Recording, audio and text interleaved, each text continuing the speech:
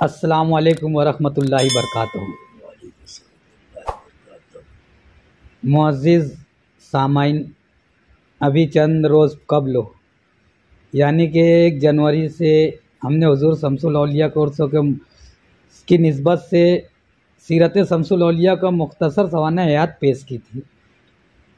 उसकी कामयाबी ये रही कि लोगों ने उसे बहुत ज़्यादा सुना, समझा और बाद ऐसे भी लोग हैं जिन्हें उनकी ज़िंदगी पर तमाम बातें याद हो गई। अल्लाह का शुक्र है। और हमने उस पर इनामी कोइज़ हजूर शमसौलिया इनामी कोइज़ रखा था। इक्कीस सवाल इन हजूर शमसौलिया के हयात पर दिए गए थे। इस पर तमाम लोगों ने जवाब दिए। चंद एक को छोड़कर तमाम जवाब दुरुस्त तो रहे। यहाँ तक कि सोचा जाता है कि इक्कीस में से किसी का बीस सवाल सही आए। किसी का अठारह आए कम बेस होता रहता है। लेकिन यहाँ ऐसा हुआ कि सिर्फ़ एक शख्स का दो जवाब गलत रहा और उन्नीस जवाब सही। बाकी तमाम लोगों के हंड्रेड परसेंट यानी मुकम्मल इक्कीस सवाल दुरुस्त तो रहे, जवाब दुरुस्त तो रहे। यानी इसका मतलब यह हुआ कि हजूर शमसौलिया की सीरत को बहुत गौर से लोगों ने सुना, समझा और अपने आप में रखा और जब उसका जवाब दे सके। उसी वक्त तो हमने ये भी कहा था कि आइंदा जो है इसके मुतालिक हम बातें करते रहेंगे। और चंद का दिन कबल जो एक ऐलान किया गया था कि अकीदा क्या होता है और तो हम परस्ती क्या होती है। बाज़ मकाम पर जो है अकीदे के नाम पर तो हम परस्ती फैलाई जाती है। हमें पहले तो ये जानना ज़रूरी है कि अकीदा और तो हम परस्ती में फ़र्क हो क्या है। हमें अगर ये ना पता हो कि अकीदा क्या है और तो हम परस्ती क्या है तो हम क्या कहेंगे? हमें कहना ज़रूरी है, हमें बताना भी ज़रूरी है। अकीदा आजकल ये बताया जाता है कि पीरान उज़ाम बारगाह, पीरान उज़ाम में अगर हम मौजूद हैं, पीर चाहे जो भी हरकत करता हो, खिलाफ शरा भी अगर नज़र आए तो हम उन्हें कुछ नहीं कह सकते। और ये अकीदा बना दिया जाता है, बल्कि यह तो हम परस्ती है। किसी को कोई तकलीफ़ आ गई तो वो इसकी तरफ़ से हो गई या उसकी तरफ़ से हो गई। यानी अल्लाह की तरफ़ से जो हमने ईमान लाया, अच्छी बुरी तकदीर पर। क्या हम उस पर कायम नहीं है? क्या ये ज़रूरी नहीं कि हम अल्लाह पर कामिल ईमान रखें? अल्लाह ने हमें अम्बिया कराम के ज़रिए, फिर उसके बाद साहब कराम आयम कराम अलिया कराम के ज़रिए हिदायत के रास्ते खोलते रहा। उसके बावजूद हमने तो हम परस्ती को अपनाया। हम भूल गए कि अल्लाह ने हमें क्या सिखाया है और अम्बिया कराम ने क्या सिखाया। उसके बाद साहब कराम आयम कराम ने क्या सिखाया। उसके बाद जो है अलिया कराम ने हमें क्या सिखाया? भूल गए। आज तो यह हद हो गई कि मज़ारात अलिया पर तो हम परस्ती इस कदर आम करते चले गए कि लोग उन्हें अकीदा समझ बैठे। अगर वहाँ पर चादर चढ़ाना है और अगर ना चढ़ा सके तो इसका मतलब बुज़ुर्ग नाराज़ हो गए। ये अकीदा फैलाया गया। और लोग जो है वहाँ पर जाते हैं, मन्नत करते हैं। मन्नत करें कि बुज़ुर्गों की बारगाह में अर्ज़ी रखते हैं। कि, के बुज़ुर्गों, आपकी दुआओं के तुफ़ैल, हम इस मामला में परेशान हैं। आप जो है, दुआ बारगाह खुदावंद करीम में दुआ कीजिए, हमारे तरफ़ से वसीला बन जाइए कि हमारी ये मुसीबत, ये परेशानी दूर हो जाए। और यकीनन उनकी बारगाह में अर्ज़ करने से दूर हो जाती है। और उसके बाद कोई उसकी पूरा पूरा नहीं कर सकता अपनी बात को तो बुज़ुर्ग नाराज़ होते हैं और उन्हें मुसीबत में मुसीबत डालने लगते हैं। तो ये गलत है, ये तो हम परस्ती है। जो देने के लिए बैठा है तुम उसे दो या मत दो, उससे उसको कोई मतलब और सरोकार नहीं होता। ये याद रखे। और हमने ये कभी गौर नहीं किया कि क्या बुजुर्गान दिन अलिया अल्लाह की बारगाह से हमें हिदायत मिलती है, हमें भीख मिलती है, हमें इज़्ज़त मिलती है, शहरत मिलती है, तमाम चीज़ें बुजुर्गान दिन अलिया अल्लाह की बारगाह से हमें मिलती है। मगर हमने क्या समझा कि हम उन्हें दे तो मिलती है। ये अलग चीज़ें हैं। कि कहीं अगर हम जाते हैं किसी के मेहमान बनकर गए और वहाँ जाकर हम तोहफ़ा, ताइफ लेकर जाते हैं तो ये हमारा अपना अखलाक होता है, हमारा किरदार हुआ करता है। इसी तरीके से हम बारगाह अलिया में भी अगर पहुँचते हैं तो कुछ नज़रों के लिए फूल है, चादर है, जिसकी जितनी इस्तात है, उस इस्तात के मुताबिक अगर वहाँ पर पेश करता है तो ये उसकी मोहब्बत है और उसका अपना अखलाक है। वरना साहेब दरगाह जो हुआ करते हैं, वो किसी से कुछ मांगते नहीं हैं। आज तो इतनी हद हो गई। इतनी ज़्यादा हद हो गई कि कोई वक्त, कोई मुरीद अपनी पीर की बारगाह में कुछ दिन तक का हाजिर नहीं हो सका। तो कोई दूसरा मुरीद मिलता है तो उससे ये कहता है कि कि तू ये परेशानी में मुब्तला रहेगा क्योंकि तूने इतने दिन पीर की बारगाह में नहीं आया, तुझे ये परेशानी आएगी। अब जब हम अजान पाँच वक्त तो हुआ करती है। पाँच वक्त तो अजान होने के बाद, अल्लाह का बुलावा आने के बाद हम मस्जिदों में नहीं जाते तो क्या हमें अल्लाह जो हमारे रिस्क को रोक देता है? कि हमारे लिए हवाओं को मना कर देता है कि उन्हें जो है साँसें मत लेने दे। या हमें हमारे जिसम से ताकत छीन लेता है। नहीं, वो देने वाला है और वो देता रहेगा, उसमें कभी रोक नहीं होगी। तो हमें ये सोचना चाहिए कि अगर एक बुज़ुर्गों की बात कर रहे हैं, कि एक बुज़ुर्ग जो है हमें परेशानी में डाल सकते हैं, हमारे मुसीबतों को रोक सकते, मुसीबतें डाल सकते हैं बड़ी बड़ी चीज़ों में रोक सकते हैं। और सिर्फ़ ये वजह कि हम जो है एक हफ़्ते में, एक उनके पास नहीं पहुँचे। एक मरतबा हाज़िरी हुई थी तो हमारे साथ ये हालात हो रहे हैं। तो हम अल्लाह की बारगाह में नहीं जाते तो हमारे साथ क्या हालात होना चाहिए? हमें अफसोस होना चाहिए कि हम अल्लाह की बारगाह में मस्जिदों में नहीं जाते, नमाजें नहीं पढ़ते हैं तो हमें तकलीफ़ होना चाहिए। लेकिन जब नहीं होती, और कोई ये आकर नहीं कहता कि तुमने जो है हफ़्ते भर में किसी वक्त तो मस्जिद में नज़र नहीं है अल्लाह तुमसे नाराज़ हो जाएगा और ये तकलीफ़ होगी। मगर ये होता है, अल्लाह से रबता करने का ज़रिया अल्लाह ने बताया कि अगर मुझसे रबता करना चाहते हो तो ये मस्जिदों में आओ, नमाज़ें पढ़ो। नमाज़ जब पढ़ोगे तो अल्लाह के रूबरू होगे, वो तुम्हारे रूबरू होगा और तुम मेरे रूबरू होगे। ये आम सी बातें हैं और तमाम अलिया कराम ने भी हमें बताया और साहब कराम ने बताया अम्बिया कराम से भी साबित हुआ कि अल्लाह से मिलने का और उसकी कुर्बत हासिल करने का एक आसान सा ज़रिया नमाज़। मगर हमने उस नमाज़ को नहीं समझा। हमने अपनी बात को फैलाने और बढ़ाने के लिए अपनी बातें की। दरगाहों पे जाना चाहिए। ये मेरा अपना अकीदा है। दरगाह, साहिब दरगाह से मोहब्बत रखो। उन्हें, उनसे फैज़ हासिल करना हर मोमिन मर्द औरत पर होता है कि उन्हें मिलता है फैज़। हमें भी मिलता है, तुम्हें भी मिलेगा, सबको मिलेगा। मगर इसका ये मतलब नहीं, इसका ये मतलब नहीं कि हम उसकी जगह तो हम परस्ती फैलाए और जो हमारे मतलब का हो, उसको आम करते हुए चले। ये गलत बातें, इसे याद रखना चाहिए। हमने कभी इस पर गौर नहीं किया।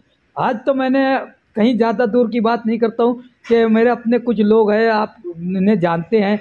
मैं चाहूँ तो नाम भी ले सकता हूँ, न तो नाम लेने की कोई ज़रूरत नहीं है, लेकिन इस बात को आम बात तरीके से लोग जानते हैं कि एक बुज़ुर्ग दुनिया से पर्दा कर गए, लेकिन उस बुज़ुर्गों के पास करीबी में जो लोग उनके है, आज जो अपना कराबतदार बताते हैं उनका तो वो लोग का कहना ऐसा होता है कि बुज़ुर्ग जो है हमारे यहाँ पे फातिया करने के लिए आते हैं फातिया करके जाते हैं। बुज़ुर्ग जो है हमारे साथ होटल पर चाय बैठ कर पीते हैं। अगर कोई दूर है और गुफ्तु करना है तो बुज़ुर्गों से उनकी कब्रों पर मोबाइल को चालू करके रख दिया जाता है। और वो उनसे बातें किया करते हैं। ये तो हम परस्ती फैलाना है। ये अकीदा नहीं है। ये हो ही नहीं सकता। अलिया अल्लाह को अगर किसी से बात करना है तो वो फ़ौर डायरेक्ट बात बात कर सकते हैं। वहाँ हाजिर हो सकते हैं। उन्हें इलामी सूरत में भी अपनी बात, पैगाम को दे सकते हैं। मगर ये कौन सी बात हो गई कि वहाँ पर जो है वो चलते हुए नज़र आते हैं? वो कभी रोते हुए नज़र आते हैं कि एक मुरीद मेरा दो हफ्तों से नहीं आया, यहाँ पर हाजिरी नहीं दिया तो उन्हें तकलीफ़ हो गई। ज़ायरीन आते जाते हैं, लोग आते जाते रहेंगे। लोग तो अब, बहुत अपने अपने मसाइल, मसाइब में परेशान होते हैं, मुसीबतों में रहते हैं, परेशान वो अपनी जगह और रजू होना चाहिए। दरगाह पर अगर तुम जाना चाहते हो, जाना चाहिए। लेकिन किस तरीके से? ऐसी तो हम परस्ती को फैलाते हुए नहीं। बल्कि हक के साथ पहुँचो। तुम उस बारगाह में पहुँचोगे, तुम्हें अल्लाह याद आएगा। क्योंकि अलिया कराम के सामने बैठने से अल्लाह याद आता है, और ऐसी जगह बैठना चाहिए। हम दरगाह में जब जाते हैं तो यकीनन हम कोई और फजूल बातें नहीं करेंगे, बल्कि हम ऐसी बात करेंगे जो अल्लाह के लिए हो। वहाँ तिलावत के अलावा कोई कुछ नहीं करता। ना तो मनाकिब के अलावा कुछ नहीं पढ़ता।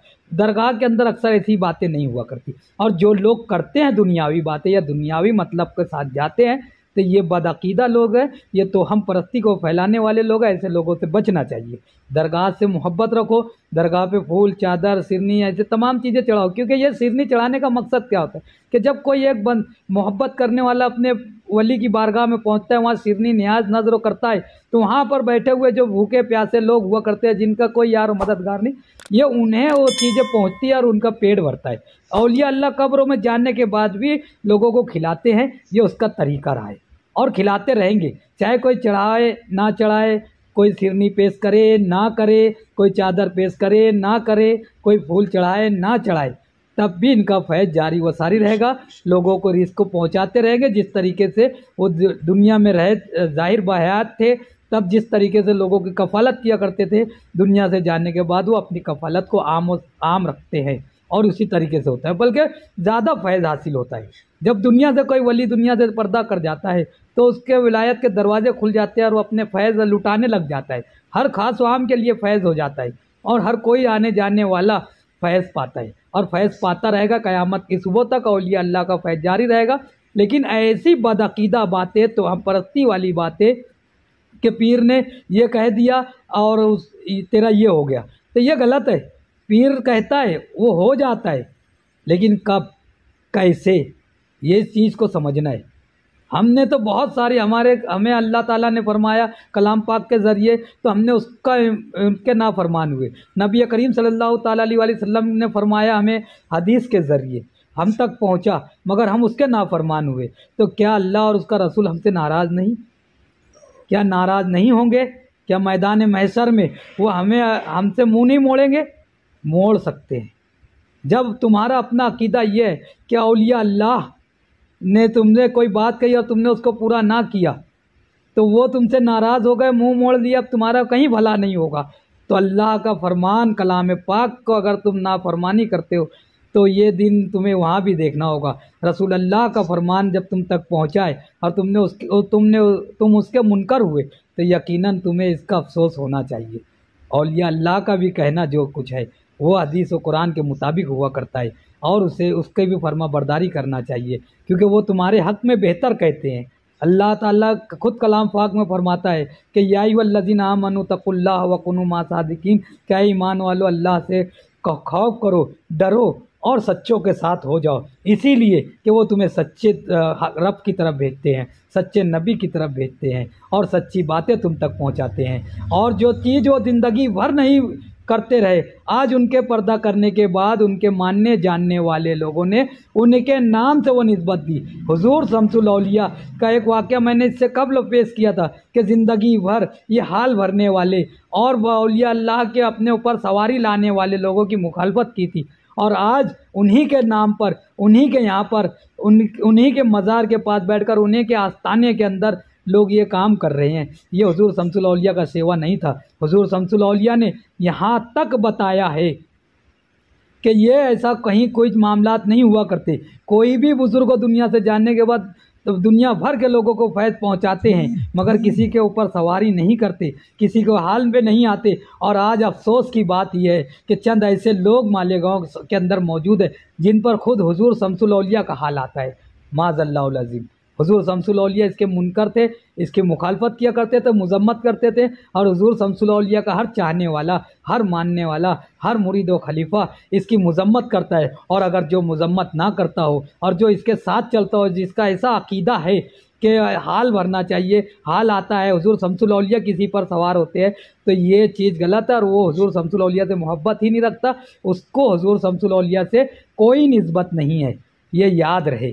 इसी तरीके से हम आपके पास आते जाते रहेंगे इसी ज़रिए और नेटवर्क के ज़रिए। यानी यूट्यूब चैनल उस खानका शमसिया यूट्यूब चैनल पर आपसे मिलते रहेंगे। और इसी के साथ कुछ बातें लोगों ने पेश की थी कि रूहानी इलाज जो घरेलू हुआ करता है अक्सर रात दो बजे तीन बजे बच्चे चौक कर उठ जाते हैं परेशानी में मुबतला हो जाते हैं किसी पे कोई आसेबी मामला नज़र आते हैं लोग इधर से उधर भटकते हैं आमिलीन की तलाश करते हैं मगर कोई आमिलीन मिलते नहीं और अगर कोई मिलते भी है तो मुआवजा बहुत ज़्यादा मांगते हैं और गरीब अगर ये ना कर सके तो क्या करना चाहिए? ऐसी बातें मुझ तक का कल पहुँची यानी कल बोले तो जो गुज़रा हुआ कल है सनीचर का रोज़ था तो इस दिन मुझ तक का पहुँची और मैं इस पर इरादा किया कि मैं रोज़, हफ़्ते में कम से कम एक मरतबा आप लोगों के सामने इसी नेटवर्क के ज़रिए पेश होऊँगा, पहुंचूँगा और ये बताऊँगा कि अगर कभी ऐसा कहीं कुछ हो तो आपको अपने ही घर में क्या करना चाहिए, क्योंकि अल्लाह ने हमें हिदायत की, किताब नाजिल की, हम पर नाजिल हुई और हमें मिली। हम हिदायत की किताब पढ़ते हैं, यानी कलाम पाक पढ़ते हैं, लेकिन इसी किताब हदा को जो है, किताब शिफा भी कहा जाता है, यानी कलाम पाक शिफा के लिए भी है, और ये तमाम आलम में जितने भी इंसान उतारे गए, जानवर उतारे गए, जितने भी अल्लाह ने मखलूक को पैदा किया, ये तमाम के लिए हिदायत के साथ साथ शिफा भी है तो हम इसी से शिफा को तलाश करेंगे, और हमें अपने घरों में ही इलाज करेंगे, क्योंकि अगर हम अलहमद शरीफ अगर पढ़ते हैं तो इससे भी काफ़ी शिफा मिलती है। और कौन कौन सी चीज़ में कितनी बार और किस तरीके से अलहमद शरीफ या देगर सूरतें पढ़ना है, ये हम धीरे धीरे बताते रहेंगे। इन अब बुध के रोज़ रात में इसी जगह पर, जहाँ पर बैठे हैं, इसी जगह से हम लोग हर हफ़्ता बुध के रोज़ यूट्यूब चैनल खानका शमसिया पर आपको पेश करेंगे रूहानी इलाज। और एतवार के रोज़ अकीदा और तोहम परस्ती के अनुमान पर हम आपसे बात करते रहेंगे।